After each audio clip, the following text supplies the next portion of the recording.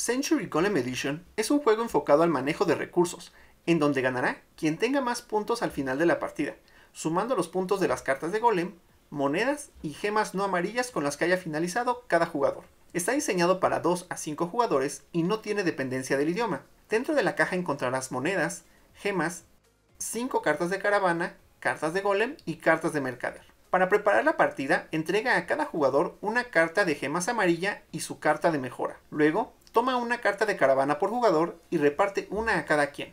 Asegúrate de tomar la caravana con la gema en la parte superior porque el jugador que tenga esta carta será el jugador inicial. Después entrega al jugador inicial tres gemas amarillas, al segundo y tercero cuatro gemas amarillas y al cuarto y quinto jugador tres gemas amarillas y una verde. Ordena las gemas al centro de la mesa en este orden amarillas, verdes, azules y rosas.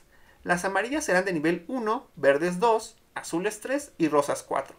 Esto nos va a servir más adelante para explicar cómo incrementar el nivel de nuestras gemas. Coloca al centro de la mesa 5 cartas de golem y 6 cartas de mercader.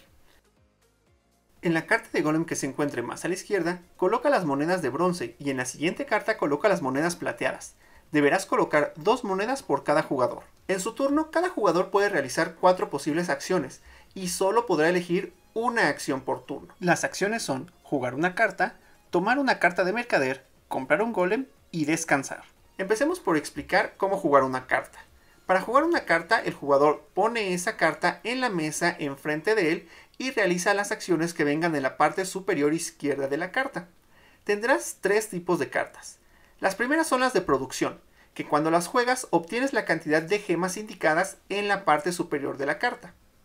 Las siguientes son de transformación, en las que deberás de tomar una cantidad de gemas de tu reserva en la caravana y las cambiarás por otro tipo de gemas que están indicadas en la carta. Por último, están las cartas de mejora, que suman niveles a las gemas que ya tienes en tu reserva de la caravana.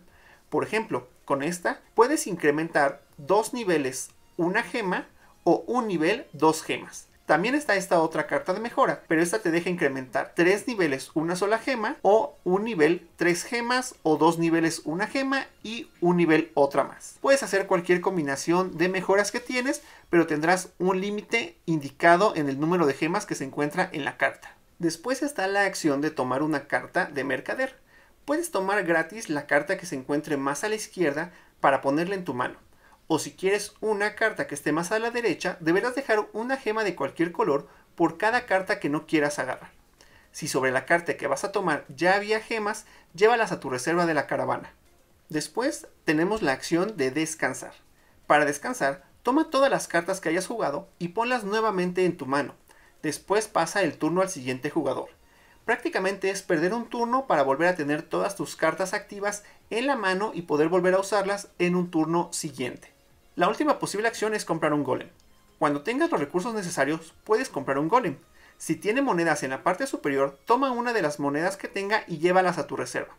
Una vez que un jugador ha comprado su sexto golem en partidas de 2 a 3 jugadores, o su quinto golem en partidas de 4 a 5 jugadores, independientemente de cuántos golems tengan los demás, se desencadena el final de la partida, y se jugarán los turnos necesarios para terminar la ronda actual.